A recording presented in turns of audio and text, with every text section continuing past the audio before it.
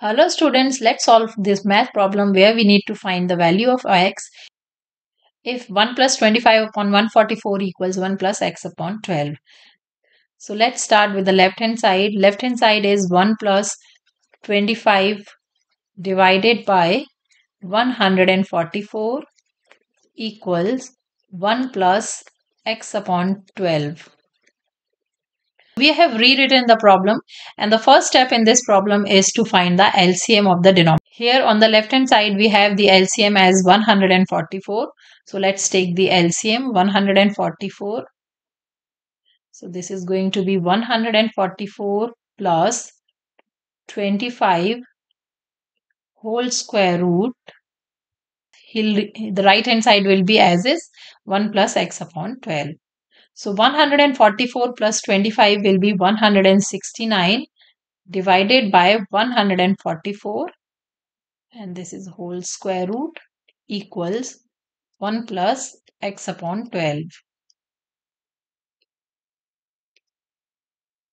Now square root of 169 is 13 and square root of 144 is 12. So that's 13 upon 12 equals 1 plus x upon 12.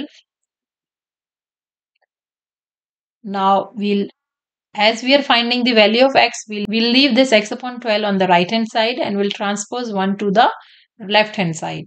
So that's going to be 13 by 12 minus 1 equal equals x upon 12.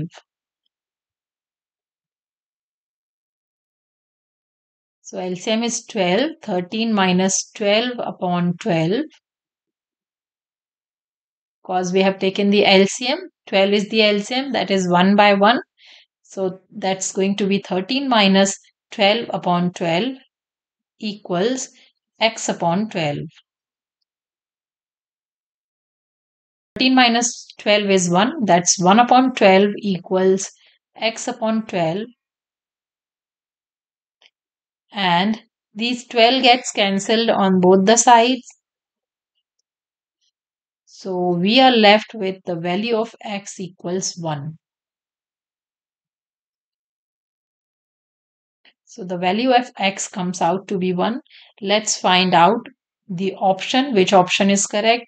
Hence option number C is the correct answer. So this is how we solve these kind of problems. I hope this video is helpful to you. If you like the video, please hit the like button and subscribe to my channel for more math videos. Thanks for watching.